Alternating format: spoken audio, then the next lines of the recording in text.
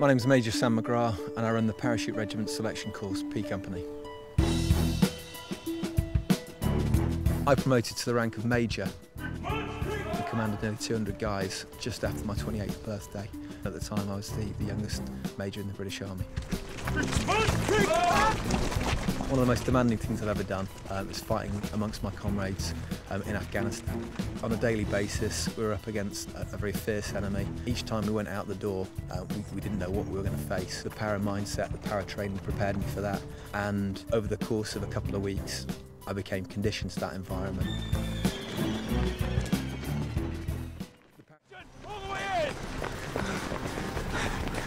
We train for war, not exercise, and that translates brilliantly to life outside the army.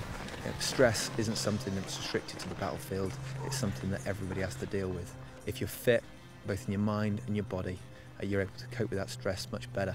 Um, and that's exactly what the para training course is all about. Heart and lungs and your legs need to be burning. Maximum effort, you want to pass this course. Does everybody understand me? Yes, sir! One of the things I've done in this book is I've broken down the obstacles to getting fit into two components. Firstly, the physical challenge, and secondly, the mental challenge. Now, I believe the most significant challenge is the mental challenge. Fitness is as much about emotional commitment as it is about physical resilience. The most difficult thing you'll do on a run is putting on your trainers and getting out the door. Okay, and that is my big challenge, and that is what I'll impart in this book.